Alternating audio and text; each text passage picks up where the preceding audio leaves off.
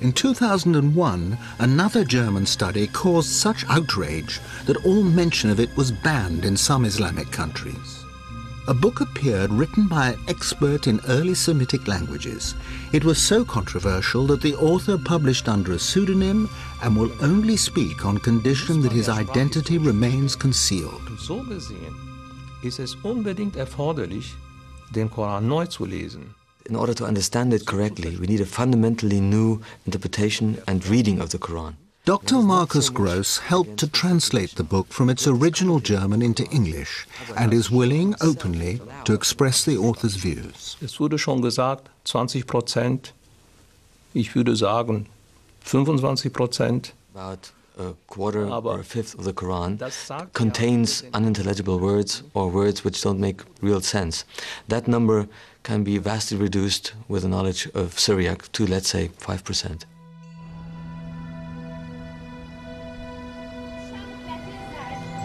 Syriac or Syro Aramaic had become one of the dominant languages of Christian liturgy by the 3rd century.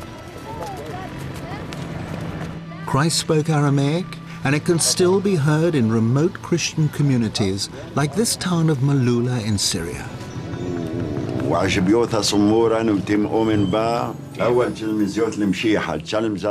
But at the time of Muhammad, Syro-Aramaic was the major written and cultural language of the whole region. Written Arabic was in its infancy. Wir haben bis zum Koran einige Inschriften. There are uh, pre-Islamic uh, inscriptions in Arabic, very short texts, but the first real book written in Arabic uh, is the Quran. But you're saying the Quran is written in two languages. Ja, ich würde sagen, es gibt ja kaum eine Kultursprache. In many areas in the world, languages mix constantly, all the time. Denn eine to make it understandable to a speaker of English, you have to go back about a thousand years. Imagine the Anglo-Saxon peasant talking to his master, who was a Norman and spoke a mixed language of French and an Anglo-Saxon, and you could only understand that mixed language with a knowledge of both. Muslim scholars of the past had the confidence to acknowledge foreign words in the Quran. In the 10th century, Al-Tabari, one of the most respected commentators, identified Hebrew, Latin, Greek, Persian, Abyssinian, and Syriac words. The difference, though, is that Luxenberg is claiming new meanings that have never been suggested before. How can one German professor challenge the collective judgment of more than a billion people, and on what basis?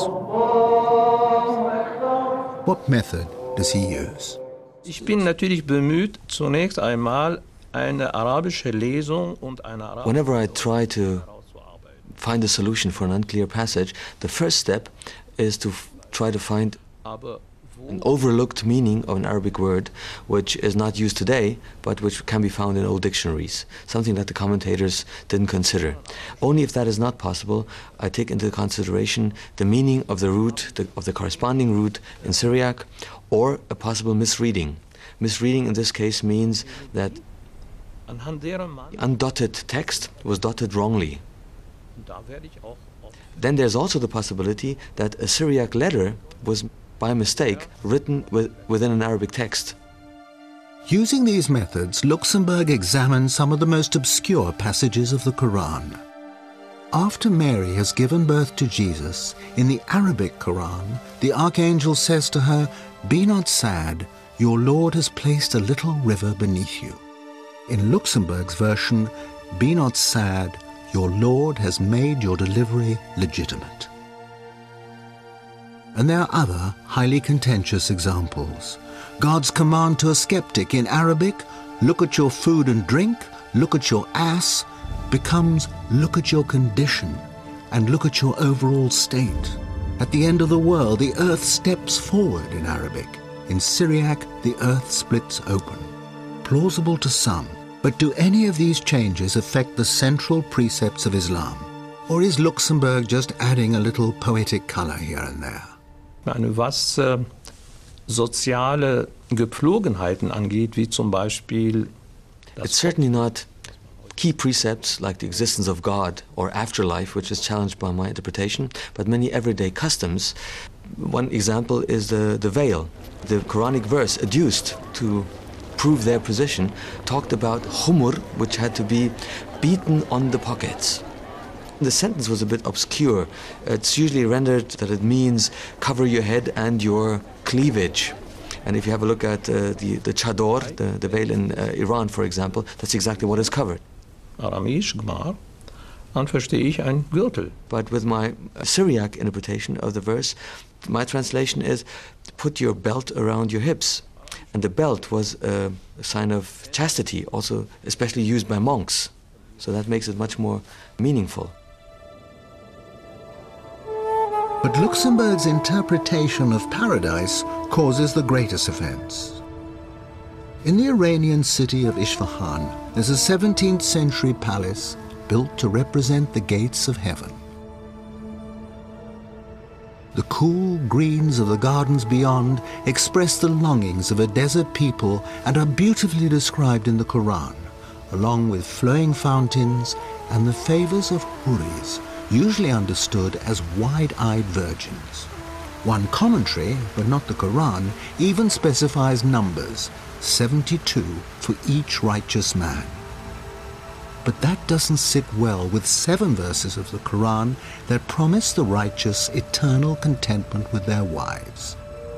Luxenberg believes he has resolved this contradiction.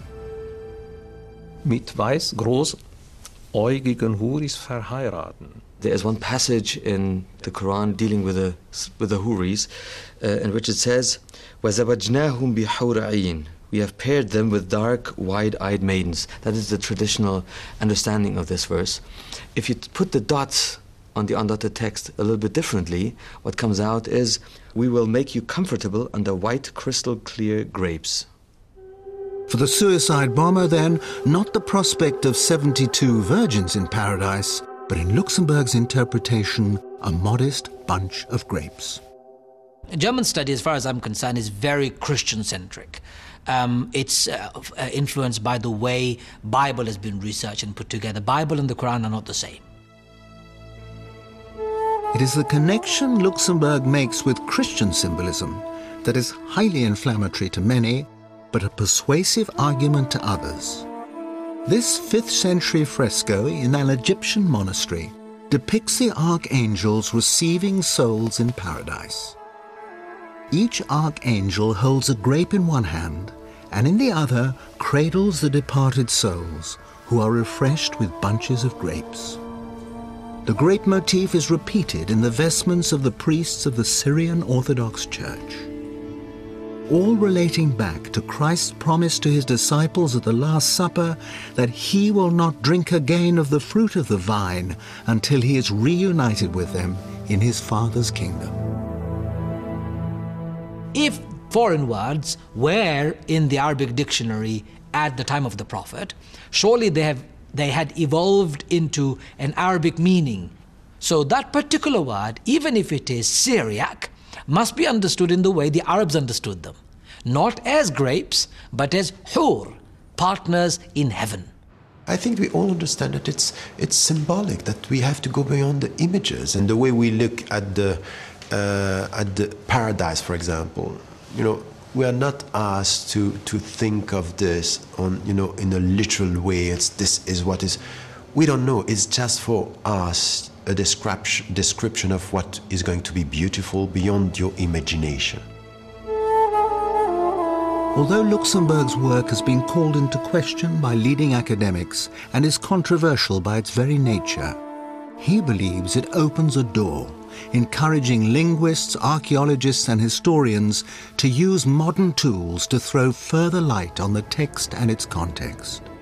For some Muslim scholars, that is in the Quranic spirit of free inquiry and no threat to those who are robust in their faith. This research by Luxenberg and his colleague, colleagues doesn't undermine any of the basic tenets, teachings, or principles of Islam. What it does, though, is to provide interesting questions. And we, as thinking Muslims, as people of the 21st century, that we should say, yes, let's look at what he's providing. Not, let us not just condemn. But let's also see uh, if, if this research has a historical base or is it a product of European Orientalism.